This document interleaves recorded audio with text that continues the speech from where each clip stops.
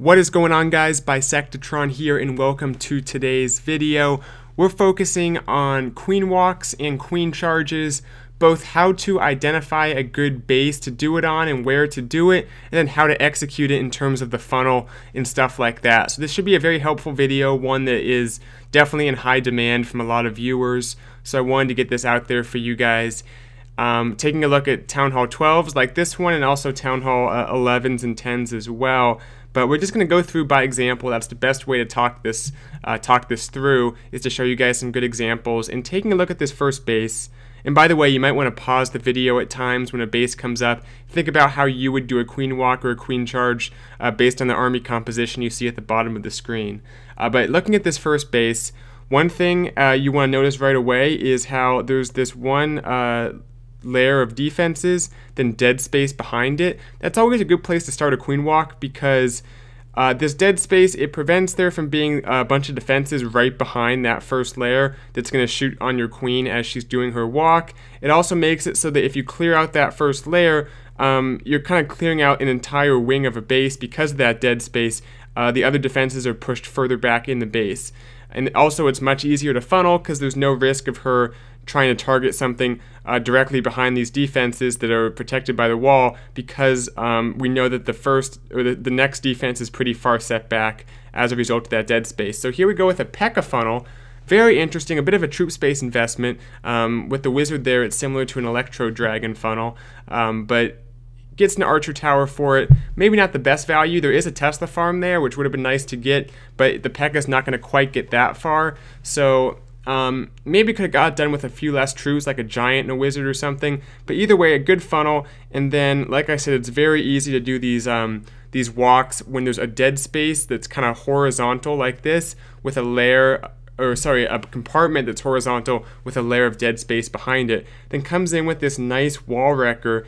Basically, um, Another good thing about this is there's no like air defenses back here. They're going to shoot down the healers. The only air defense is right there. It does get a few shots off, but not enough to kill any single of those healers.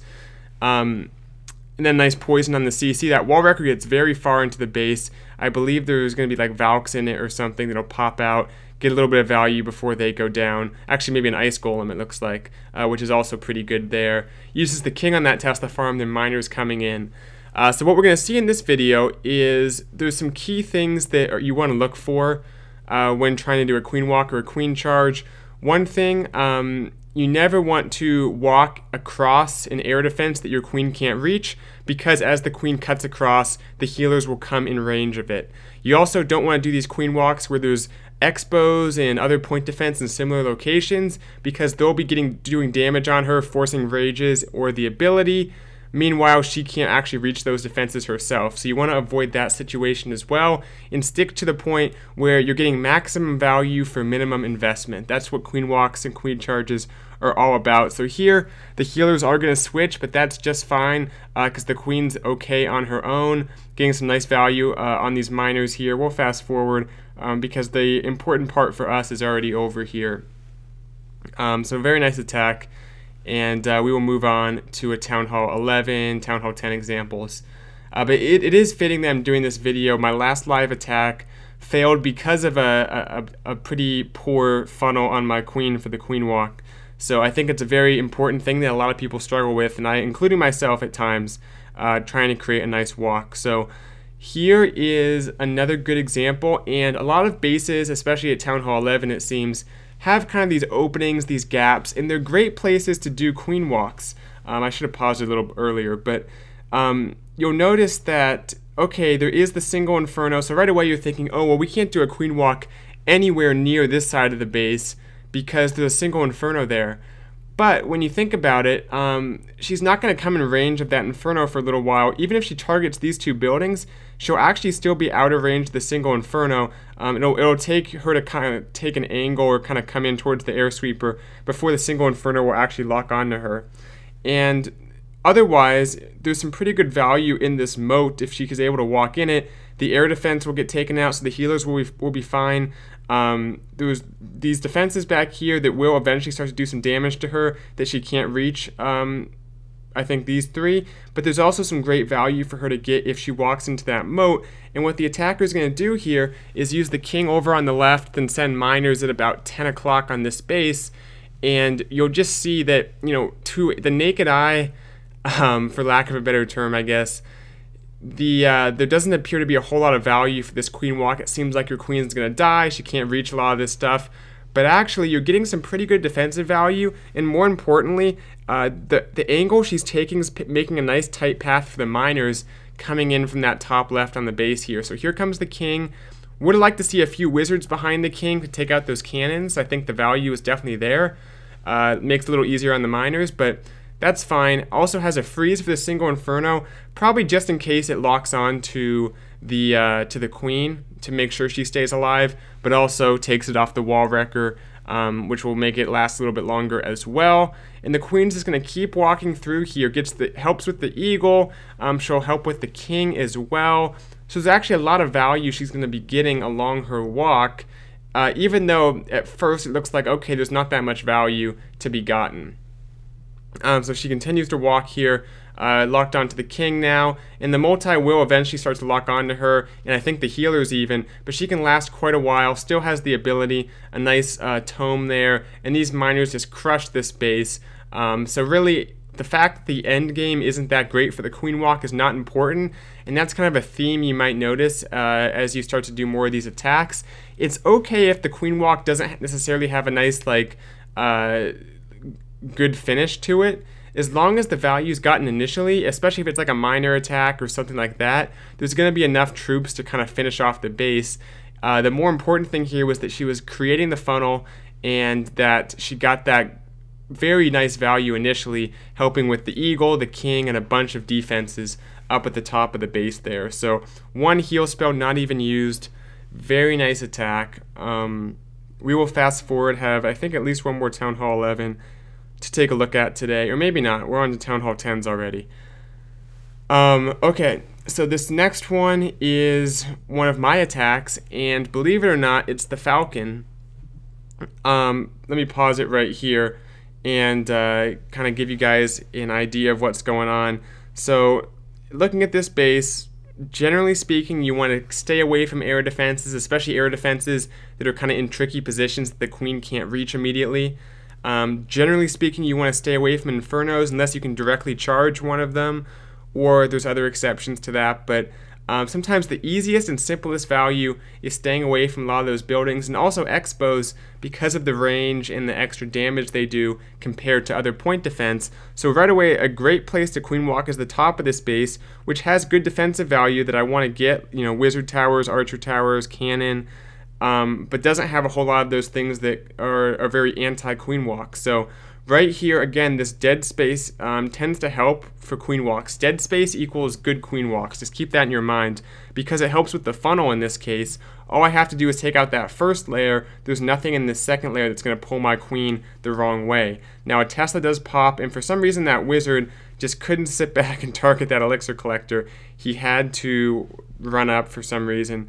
So what I'm going to do here is right now it's a little tricky, but I realize if I drop my queen right here, this natural two tile gap between that elixir collector and this elixir storage is going to make it so my queen's actually going to continue to go the right way. It's going to uh, prevent her from actually targeting that elixir storage, uh, which is very helpful. So right here is kind of the moment of truth, but she goes the right way, and from here on out, everything's just going to continue to pull her to the right, so she'll be fine.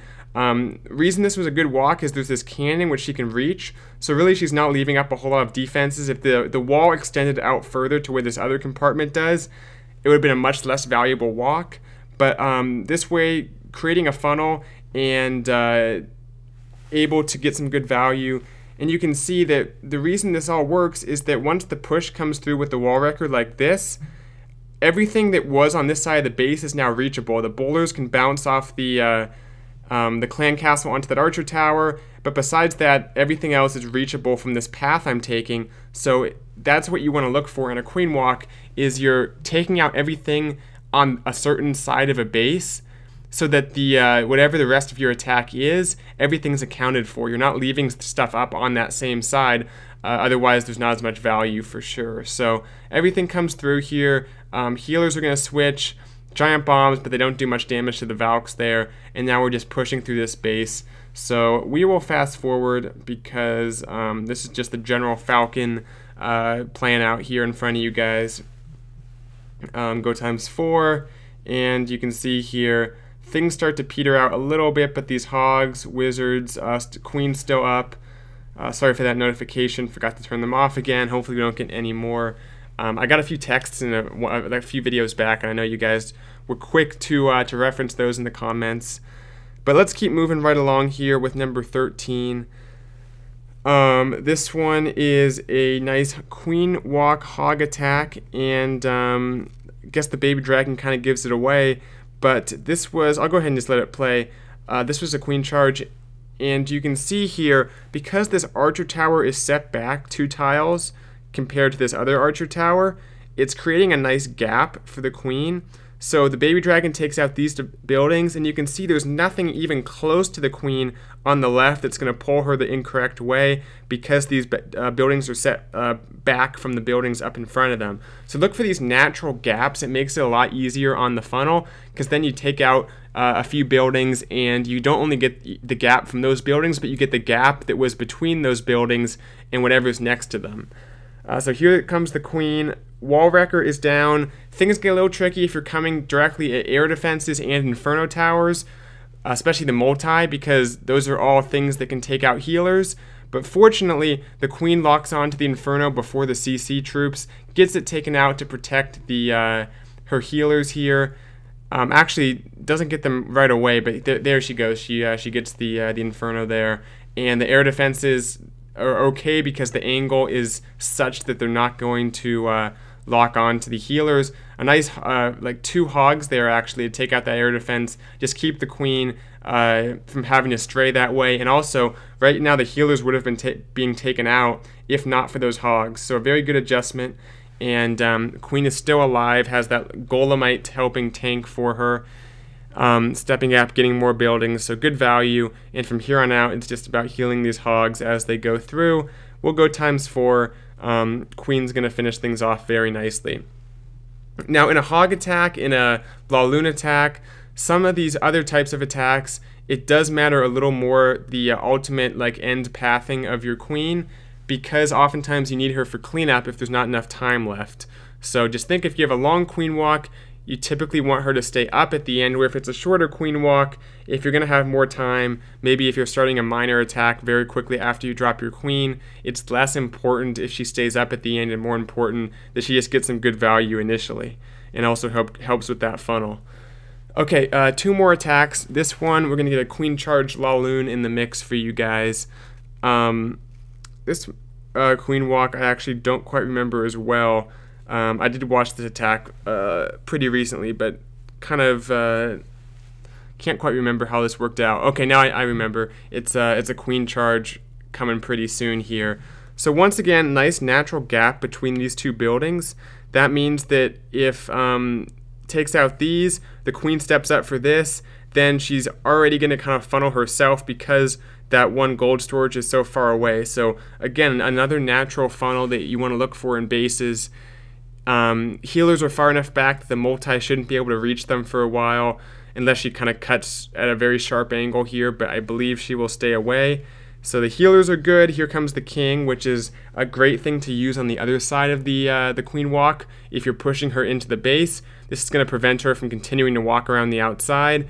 Uh, right here, actually, everything starts targeting walls, which is kind of funny because the funnel was actually very good. So a few wall breakers to kind of help with everything and these healers just out of range of that Inferno.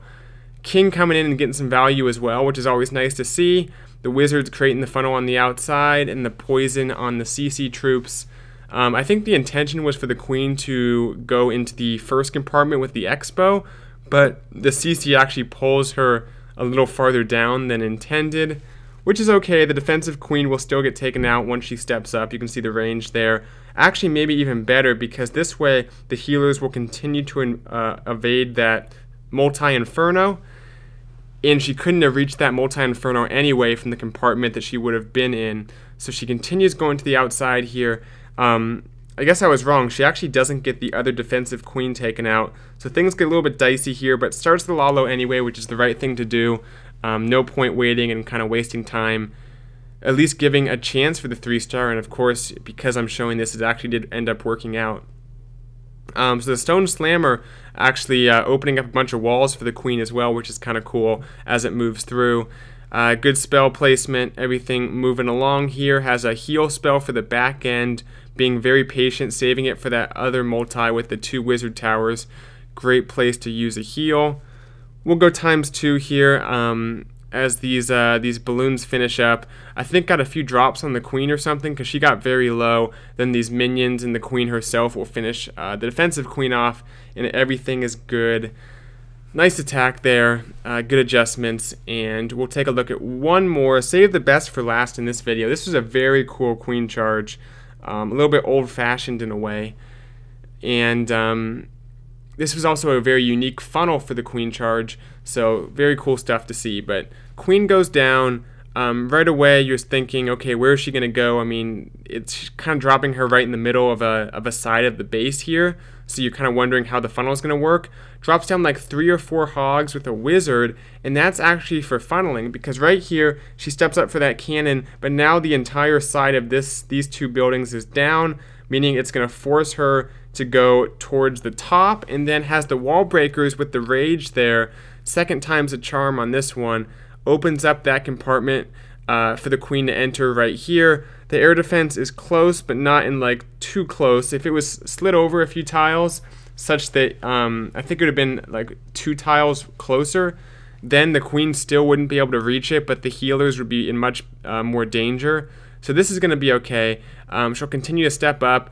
The, the key things here, the multi-inferno is reachable, plus the defensive queen, plus the X-bow, and there's nothing that's like uh, going to target the queen, but also continue to stay out of range of her. I like the uh, the few miners there on the uh, air defense. I guess the miners are being deployed there anyway, so it all worked out. But got the uh, air defense down before it did too much damage to the healers. Then we have a baby dragon tanking and more wall breakers. Check this out. More wall breakers to let the queen continue to come through. Uh, very, very cool stuff here. I think she might go down to this two-point defense. Uh, but Stone Slammer coming in, the King, Miners, uh, just a very, very uh, nice attack. And I think she's going to go down right here to this uh, X-Bow, but the value has already been gotten. The healers will switch here, help out the miners a little bit before those air skellies get to them. And um, this is pretty much GG. You can see uh, the king is down, but a few of his barbarians are still up. And there's just not that many defenses left up on this base. So we'll go times four. That'll pretty much do it for this video. Um, hope you guys were able to learn a little bit just from these example attacks. Queen walks, queen charges. Um, look for natural funnels. That's a big point I want to make. As you guys saw in this video, when there's already a two tile gap between buildings, it makes it much easier. You almost can just drop your queen in a very strategic location and do very little of actual uh, funneling with your troops. The funnel is natural by how the base is set up. Um, stay away from single infernos, air defenses uh, in bad positions.